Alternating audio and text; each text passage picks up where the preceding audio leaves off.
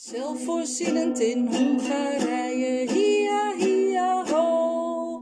Met een hond, hond hier en een poes, poes daar. Hier een kip, daar een kip, overal kip, kip. Nou, hallo allemaal, daar ben ik weer. Ik ben erwtensoep aan het maken. Ik dacht even aardappeltjes te schillen. En er wordt opeens wordt er gewoon een aardappel gestolen door Floydie.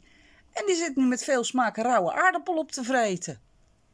En ik mag mijn aardappel niet terug. En ik heb niet zo heel veel aardappels. Nee. Ja, nou.